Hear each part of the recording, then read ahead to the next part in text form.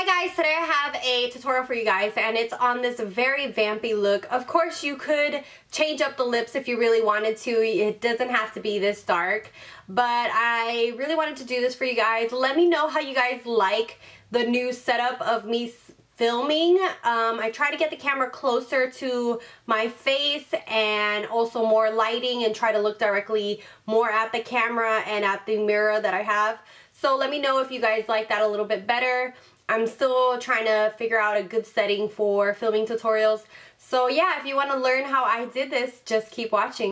Let's get started by priming the eye. The first thing I'm going to use is Painterly by MAC.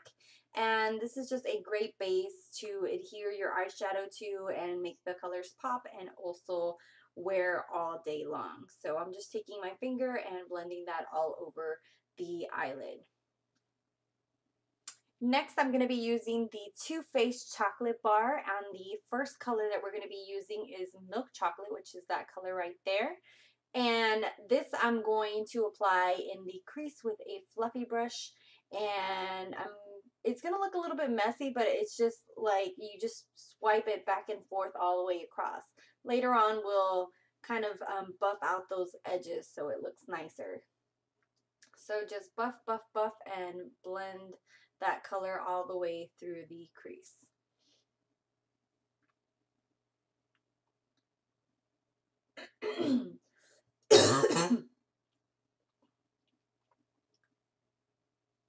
Next thing that I'm using is NYX Milk, which is just a white base and it's super creamy and I'm just using this brush to apply it only to the eyelid area which is where I'm going to put the star violet and this is just going to make star violet pop more and become look super vibrant on the eyelid.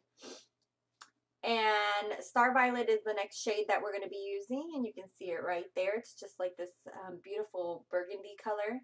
And using a flat brush, I'm applying that all over the lid and patting it in just so we get like an intensity of color. The more you pat in colors, the more intense they look.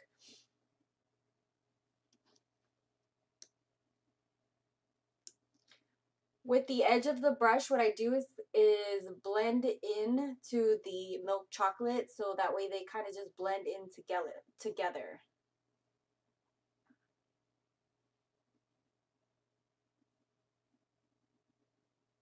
Then I'm taking just a small little crease brush with nothing on it and going through that division between the two colors to just make them blend together and just seamlessly blend one into the other.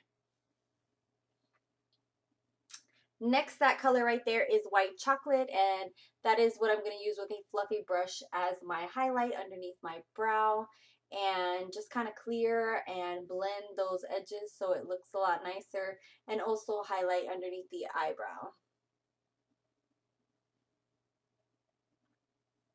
Next, I'm taking just a small brush and using Star Violet and applying that to the lower lash line to kind of smoke it out. And I take it all the way across the, the lower lash line from the beginning all the way to the outer edge.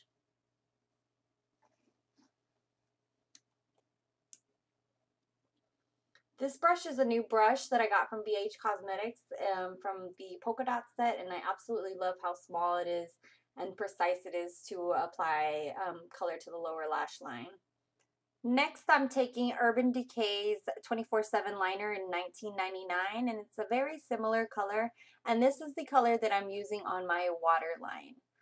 So I'm just tightlining and putting that on my waterline to um, kind of blend the two colors together, and they are very similar in the same shade.